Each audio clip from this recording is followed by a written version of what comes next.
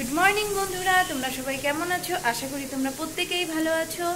আর কালকে তো বিয়ে বাড়ি গেছিলাম ব্লগে তোমাদের দেখাবো। কালকে শেয়ার করা হয়নি তো এই ভিডিওর মধ্যেই আমি কালকের বিয়ে বাড়ির ব্লগটাও তোমাদের দিয়ে দেবো বিয়ে বাড়ি। তো আজকে সকালবেলা রান্না করছি কি, কালকে তো আমার মেয়ে, আমার বাবা, মা, আমার শ্বশুরবাড়িতে গিয়েছিল। তো ওখানে গিয়ে পুকুর থেকে মাছ টাছ মেরে নিয়ে আসছে। তো আজকে সেই মাছই রান্না করব, তো ব্লগটা দেখতে থাকো, অবশ্যই তোমাদের ভালো লাগবে। এই দেখো বন্ধুরা, কত বড় মাছ, জাপানি পুঁটি মাছটা ভাজা করছি।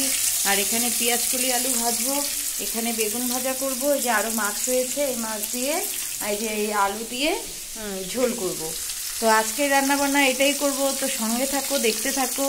আর কালকে বিয়ে বাড়িতে কেমন সেরেছিলাম সেটাও তোমাদের সঙ্গে শেয়ার করব এই ব্লগেই তো ঠিক আছে, দেখতে থাকো ব্লগটা আর বাইরে আমার দুই মেয়ে খেলছে রোদ্রুরে ঠিক আছে।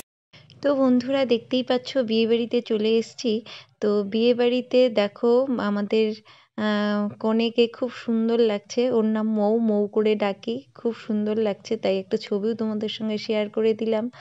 আর দেখো আমিও ওর সঙ্গে ছবি উঠেছি, আমি কেমন সেজেছি, আমাকে কেমন লাগছিল প্লিজ তোমরা কমেন্টে জানিও।